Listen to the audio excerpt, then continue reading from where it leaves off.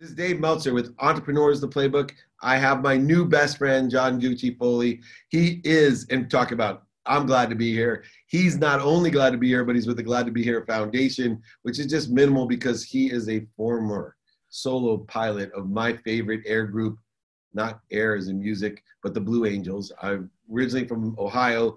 Anybody from Dayton, Ohio knows the Blue Angels the most extraordinary example of focus that I can think of, but also CEO of Centerpoint, uh, speaks around the world, obviously an inspirational, aspirational, and educational speaker. I am so delighted to have you on, John. Thanks for joining me on the playbook. Dave, I'm glad to be here. Man, this is deep. In fact, I've been waiting for this for weeks since you and I connected. I know what you meet. We were talking earlier about the 1% of the 1%. There's certain people that are on the exact same frequency. It's not just like a channel of your frequency. You and I are on the exact same frequency. Uh, we explain things in different variant ways, but we believe in the same things. There's a core unification or oneness uh, for whatever reason that has been developed through our careers and our lives and our personal lives. Where do you think that frequency comes from uh, that allows us to feel not only at one with each other, but we were talking about being at one with your Blue Angel team, 18 yes. inches apart at Mach 1 or 2 or whatever the heck you can do. Where does the oneness, that ability to feel the oneness come from? I think it's simple, Dave. It's, it's a purpose larger than self. You know, we're connected to something much larger than ourselves. I can feel it in you. We both want to inspire a billion people, right? That's kind of cool. Over a billion. Over. Thank you. Yeah. So John, John, and I will inspire, empower over 2 billion people together. we will. Absolutely. And part of that, I think, is, you know, I think back to my time in the blues. You know, you mentioned that, right? How do we fly 18 inches apart? You know, and and and even for people watching right now, you know, stick out your arm and, and try to touch that screen. Yeah, right there. It's a 22 ton jet going 400 knots, right? Sometimes upside down. So, so how do you do that? It, it creates a oneness of your mind, body, and spirit. Everything has to come together the, the game plan, as you, you like to call it, you have to have a game plan. You have to practice. You have to focus. But when you're when you're in that moment, it's something different. You're operating at that frequency that you're talking about, where it's it's above conscious thought. It's beyond conscious thought. And you know, I have practiced intuition. One of my mentors a guy named Bob Proctor gave me a great exercise because I fly in planes a lot as a passenger. Yeah. And uh, I've only flown a plane once in Africa. It was an amazing experience. Not very fast. It was an antique plane, but it was extraordinary. But I learned to stare at the seats in front of me on an airplane and learn through my intuition to get the person to turn around and look through the slot at me. And, and you know, I'm on airplanes all the time, but this is a muscle. Um, and it's a, it's a higher frequency intuition and we were discussing earlier, there's no physical way for a human being, if you were at a conscious level, at, at, a normal conscious level, there's no way you could fly upside down, you know, at 400 miles an hour, whatever speed it would be, 18 inches, an arm length away from, you know, all, that tonnage of, of steel if you weren't operating in what I call an intuitive level at a high, higher frequency. Were there some drills or practice? You know, I love my uh, in airplane practice, but are there some other things that I can do to build that muscle of intuition? Oh, yeah, absolutely. So I start with gratitude. I believe if you can build the gratitude in your own mind, it'll enhance that intuition. So I, start every morning with what I call my glad to be here wake up. And I've trained my brain right? To wake up happy. And it's very simple. You can do this in seven seconds if you want. First thing I did this morning when I woke up was first off, I said, Yeah, I'm in Sun Valley. I'm with my wife. I'm not traveling right now. I'm going, This is great. I'm just grateful to be here. And then you popped in my mind. I said, You know, I'm going to get the rare privilege to be on Dave's show and, and more importantly, for our audience to, you know, impact other people's lives. So by playing that tape, training your brain on gratitude, uh, and then I also, when, my, when I get out of bed, I hit my left foot forward first. It's a trigger, right? Dave, it's a trigger where the minute my left foot hits the floor, I say two things. Number one, I'm grateful. It's going to be a magical day. It's not normal. And what am I looking forward to in the day? And again, it was the it was the the the event I just did and your call right now. Those are the two things. That, you know, those will help you. You know, it's interesting. The most successful, highly functional, self-actualizing positive, happy people, healthy people that I know because happy people are healthy. They don't get sick. They don't attack other people. Um, the most extraordinary thing to me is you know, one of my glad to be there routines is just simply to say thank you before I go to bed and when I wake up. It takes 0.1 seconds. Love and it. I've been surrounded, especially in the last two decades, by people like you, Hall of Famers, extraordinary people, and thought leaders, right? Deepak Chopra, Bob Proctor, I mentioned, Brian Tracy, uh, Sharon Lechter, Mary Morrissey, and the list goes on and on, right? The world thought leaders, the transformational leaders, uh, and every single one of them, you know, as complex as the materials and the books that they've written, like yours, complex as their careers are, and the intricacies and the dependent and independent variables.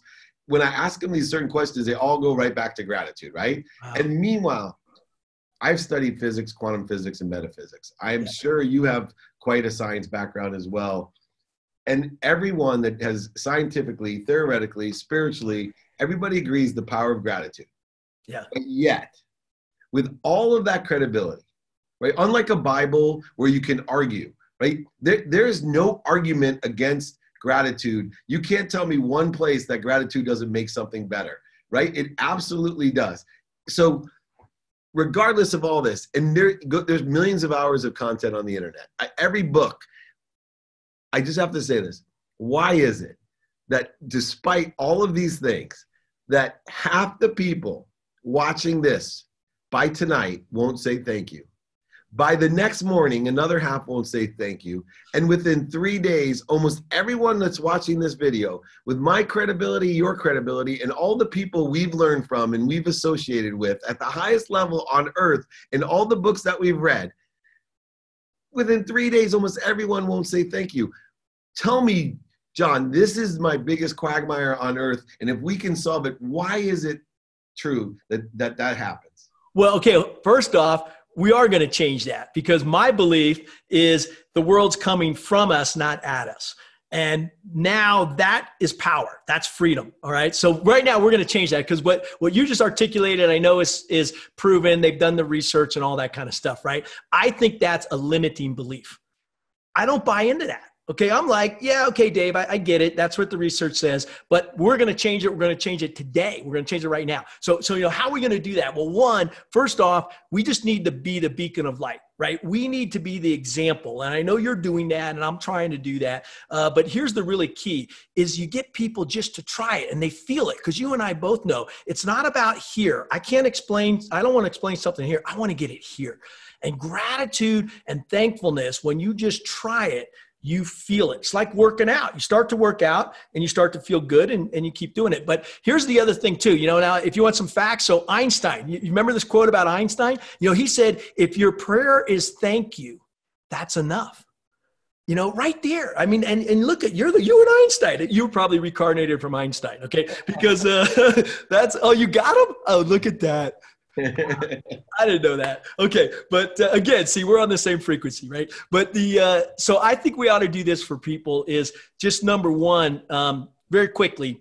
So I found this out later in some of my research. You know, I in the Blue Angels, no one taught you this. Okay, no, no, the things that you and I are talking about, it wasn't consciously taught, but we did it. We did it through a team of experiential learning. We would visualize before we went flying. You get the brief, everyone comes together, and we the boss, I've got video of this, I can share it with you. He he starts to talk about the maneuvers in the exact tone and the exact inflection. So it's like up we go. And on the G of go, he's putting the back stick in, right? And I'm visualizing this. I'm I'm closing my eyes, I'm moving.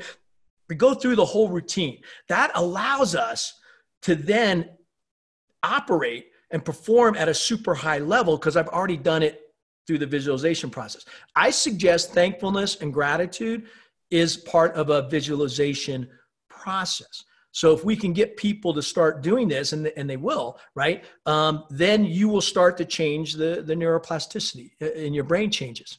Well, and you know, the idea of glad to be here is in effectuating that idea, right? You cannot be glad to be here unless you're great, you're grateful right? And so you're actually forcing people to visualize that gratitude. Um, it's so it's so interesting um, because you talk about things come from you. I always say things come through me, which means, right that comes from me. But you know, there's a great source that's coming through me for others. It allows me from me, including the idea of projecting uh, things come from me. People think our eyes are receiving. I think they're projecting, and nice. And so that's why it's so important to visualize what I want because I materialize what I want. I have two sayings. One that everything that is in my life right now, I, I intended it to be here, uh, which with gratitude, forgiveness, and accountability is perfectly beautiful. And then two, not only did I intend everything that is in my life to be here, but I give meaning to it. I'm yeah. the one that gives meaning to it. Um, and I think through your experiential uh, journey, that you've intended some very interesting things. But what meaning have you given all of the great things that you're doing and that you have done?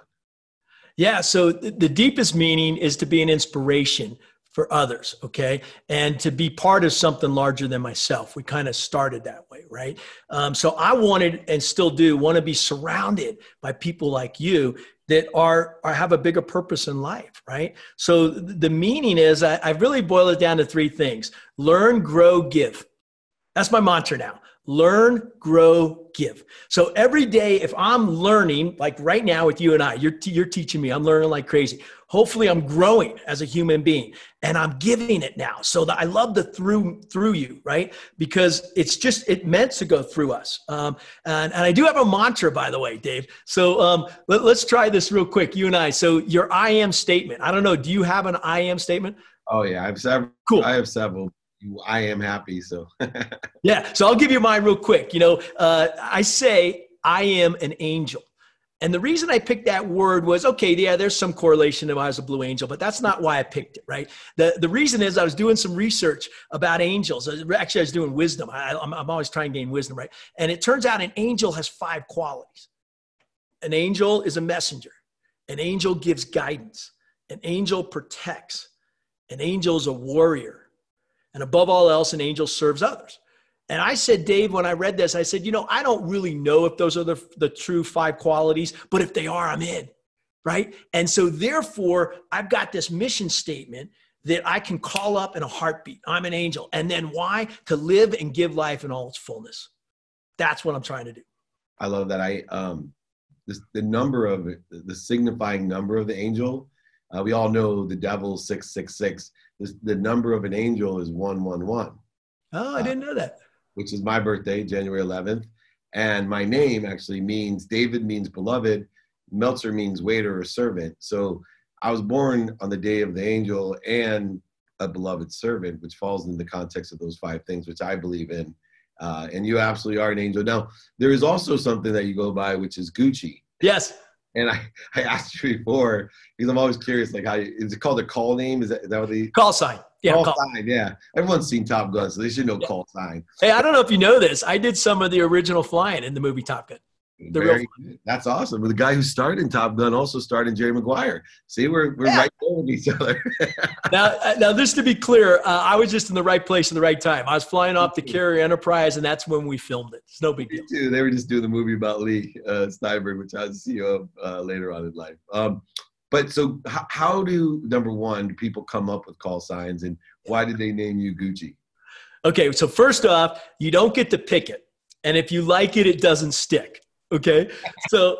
Uh, you know, no fighter pilot wants to be called Gucci. Okay, you want Hitman, Viper, Iceman, Maverick. You know, you want something cool, right? Uh, yeah, but you know that's not how it works. Okay, uh, typically uh, the reason you use call signs, by the way, let's get to the reason is when you're in combat, air-to-air combat, uh, you want to be able to, to tell somebody if they got a missile coming at them. You don't want to say normally a, a call sign of an airplane is you know B301 or something like that, or, or sharpshooter 502 you don't have time to say that. You want to get someone's attention. So if I'm flying with my buddy and I see a missile coming at him, I say thumper, break left. And, you know, thumper gets his attention or her attention, right? Plus, uh, it's more importantly, it's camaraderie, man. When we're in the bar, you're just talking. And by the way, those bar scenes are true. Okay. Uh, when, you're in the bar, you're, you're just with your buddies and, and you're talking and joking around. It really gets bad. I got to tell you, Dave, sometimes you just call people either call signs that when you're in a situation where there's a, an official introduction and you go to introduce somebody and you realize you don't even know their first name and you've been flying with them for a year you know, because it's like, no, it's it's not Ken, it's Thumper, right? Yeah. But anyhow, um, yeah, so for me, okay, Gucci, uh, you know, I was actually, we were in training, Fallon, Nevada. That's where Top Gun is now, by the way. And we're training before you go out there and flying two, three times a day. Everything's going pretty well. And the, uh, the instructors go, okay, time out. Let's go into Reno, right? Saturday night. And I'm thinking, okay, that's cool. So I show up in the BOQ, that's the Bachelor Officers Quarters. And I had on this black button down shirt. But here's what killed me I had a thin black leather tie on. Oh, that wasn't wasn't even cool in the 80s, right, Dave? I mean, and, and, my buddies are looking at me and they're, you know, jeans and t-shirts. And they go, what is that? That's Gucci. Well, it didn't help that I was living on a sailboat and driving an Alfa Romeo at the time too. Oh yeah, of course. Not a way, Foley. You're, you're an Italian Irish boy. That's awesome. It uh, stuck and I hated it. I, see, I, see, I showed you my Einstein. Can I see the helmet behind you? Yeah, yeah, yeah. So this is, this is my fighter pilot helmet. Oh, by the way, um, Fist of the Fleet you remember uh, Top Gun on Maverick's tail, because that's where they, they put was this image. Okay, is a fist of the fleet grabbing a lightning bolt. Now here's the here's the inside story. That's not an F-14 squadron. This is an F-18 squadron. But Holly and he was flying an F-14 at the time. But Hollywood, they, they just like the patch so much that they they put it on there. But yeah, this is my fighter pilot helmet, and you can see there's the name Gucci. That is so cool. Yeah. What's the green square on the very top for?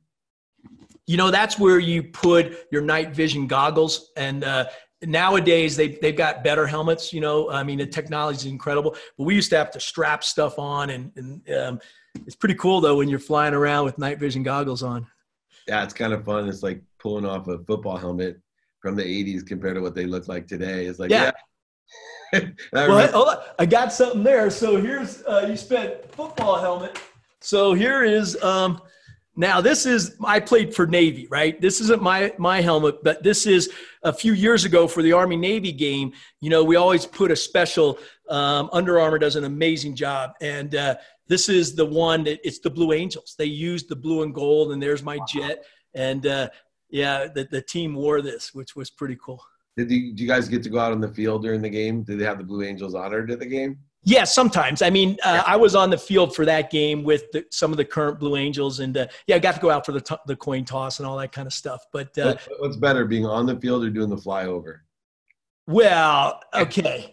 Um, I'm a ball player, right? So I love being in the game. You know, this is about being in the game. I'd, I'd rather be on the field. Uh, when I played, uh, that was back in the uh, early '80s. You know, uh, I remember that that well. But I got to tell you when you get a chance to fly over uh, and you get to you, you you know what the crowd feels like. You know what it, it's what's going on in those people's minds. And and um, and when you get to fly over and hit those afterburners and just you know you know you're lighting up the, the sky. They can feel i want i want to shake the stadium you know? Um, that's a pretty cool feeling too. I like to do both.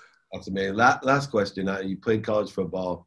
To me i still can't compare the amount of lessons that i learned from playing college football uh, you talk about teamwork and what you do with the Blue Angels and camaraderie, the locker room, rules, pushing, consistent, persistent pursuit of protect. There's so many lessons that, you know, today I stand on stages unifying and empowering that, you know, I learned being an average division three football player. And, you know, for you to live, you know, that camaraderie, what's the number one lesson that you took with you from your college playing days into that Blue Angels team from the Navy team you were on? Yeah, well, number one, the word is teamwork. And, and we all say that all the time. But what it meant to me was I had to personally do my best job I could. I had to be prepared, I had to be focused, but I had to trust. I had to trust my teammates. And so when I think about football, all the game planning we went through, the preparation, understanding your opponent, but also getting yourself to that state of, of mental focus. Uh, that's what, believe it or not, Dave, when you go to Blue Angels, it's like that times 10. Okay. I mean, it, it takes it to a whole new realm the concepts are the same and it's the same thing in business you know i'm out there like you you know taking the high performance teams and and making you know allowing people to understand what it feels like but more importantly how to relate it back to their life right that's the key right and uh, so yeah it's it's um, same concepts uh, but you know, we have to be able to relate those back in in a, in a high performance way. Yeah, it's extraordinary. I love the blend of the pragmatic world to this idea of faith And you talked about trust and faith, which are equivalent of one another. You know, we have faith in our teammates, we have faith in oneness, you know, this blend. The irony of my life always is, is when I have the closest I can to true faith, everything faith, everything always turns out better. But yet I even though I know that consciously, I still get in on my own way and try to control things. And I, I am insecure about trust and faith. But I think that's something I took away today is that you know those lessons of faith keep on coming and that we keep practicing faith as much as we practice ending fear we have to practice faith and i am so glad that you are here i'm glad to be here myself i'm a man of gratitude and of faith and i have more faith that you and i now can empower over 2 million people to be happy together and i look forward to doing this again fearless success is the book that he wrote john foley is his name you can call him the gucci if you want he is what I call the menschie, uh, which in my culture, a mensch is somebody that has given their life to others. And I appreciate you doing that, John. I look forward to doing tremendous things with you. Thanks for joining me.